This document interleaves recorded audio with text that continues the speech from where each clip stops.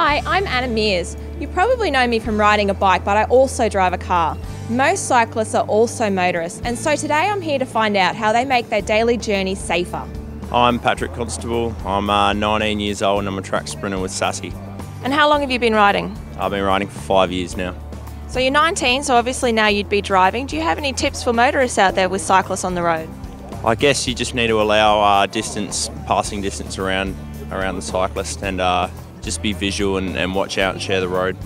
Um, the most, the biggest problem is people turning left when you're right next to them, and they'll they forget to look over the shoulder to see if you're there, and so people cut you off. You know that on the weekends, especially early in the morning, you're going to find more cyclists out on the roads. Um, around Tour Down Under time, you're going to have more cyclists on the roads. Um, and if you're driving through the hills, there's a possibility that there could be a cyclist just around that corner. So, particularly on weekends, just try and take it easy. As a motorist, just beware because you know that you know that they can. That you don't have clear visibility all the time with the back, especially the back side of your you know of your car. Yeah, just being more careful because you know if you as a, as a motorist knock a, a cyclist off, you're going to pay a pretty big consequence. So it's a res- big responsibility just operating a motor vehicle in general.